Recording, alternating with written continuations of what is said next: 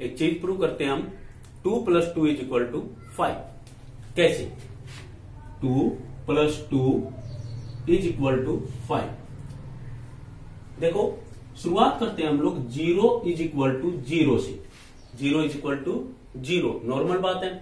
तो ज़ीरो को हम लोग लिख देते हैं twenty minus twenty is equal to twenty five minus twenty five क्या कुछ गलत है अभी तक? बिल्कुल नहीं है। Twenty minus twenty zero, twenty five minus twenty five zero, बिल्कुल सही है। ओके, अब करते हैं इनके फैक्टर्स क्या करते हैं? फैक्टर्स ट्वेंटी को हम लोग लिख सकते हैं। Five into four. ओके, और इसी तरह हम लोग इसको लिख सकते हैं फाइव इंटू फोर। ओके, इसी तरह इसको हम क्या लिख सकते हैं? Five into five. Twenty five के फैक्टर क्या बनते हैं? Five into five. इसके भी क्या लिख देते हैं? Five into five. ओके इसमें से, इधर वाले में से क्या हम फोर कॉमन ले सकते हैं?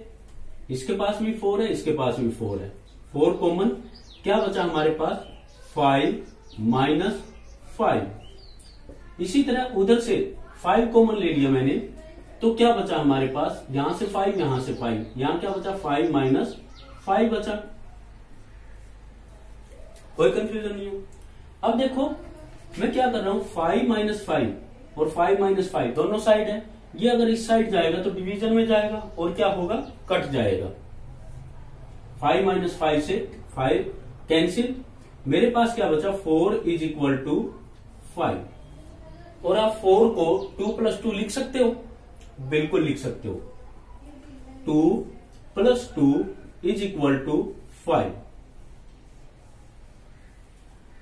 हो गया ना प्रूफ तो अगर मैं एक्चुअलिटी बताऊँ तो ऐसा पॉसिबल मैथ्स में नहीं है। मैंने इस पूरे क्वेश्चन के सॉल्यूशन में एक मैथ्स के रूल को फॉलो नहीं किया। आप इस पूरे क्वेश्चन को आइडेंटिफाई करो और मुझे कमेंट बॉक्स में बताओ कि मैंने कौन से रूल को फॉलो नहीं किया। मैंने एक मैथ्स का रूल तोड़ा इसके सॉल्यूशन में। तो आपको ये बताना है कि वो रूल मैंने कौन सा तोड़ा है? और स्टूडेंट्स मैं इसके साथ आपको ये बता दूँ कि आपको, आपके इस चैनल पे ऑलमोस्ट क्वेश्चंस के सॉल्यूशन के साथ साथ मैथ से रिलेटेड सिर्फ़ मैथ से रिलेटेड बात कर रहा हूँ मैं मैथ्स से रिलेटेड आपको जोक्स पॉइंट गेम्स एक्टिविटी ये चीज़ें भी आपको इस चैनल पे मिलेगी।